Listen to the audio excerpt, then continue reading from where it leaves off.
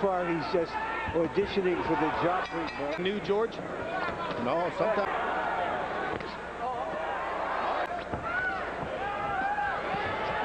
Home tonight.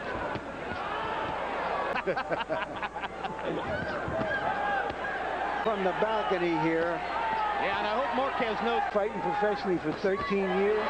Hasn't worked. What's, Gainer doesn't like getting hit in the head. Marquez whipped him with the right hand and has...